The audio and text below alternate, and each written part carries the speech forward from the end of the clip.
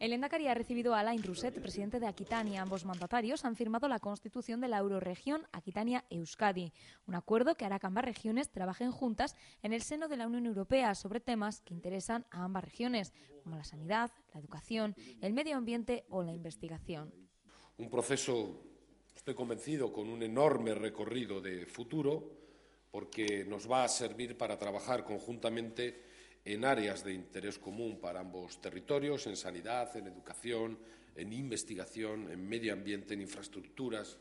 y nos va a permitir también actuar con mayor fuerza y reconocimiento en el seno de la Unión Europea. Somos vecinos y como tales tenemos problemas comunes y desafíos comunes y la eurorregión va a ser un elemento de cohesión territorial, de cohesión económica y social y va a suponer un marco de colaboración para todos los agentes sociales, tanto vascos como aquitanos, que quieran trabajar conjuntamente. A partir de ahora, Euskadi se une más y cabe a la vecina Aquitania, formando una eurorregión más competitiva y con mayor fortaleza.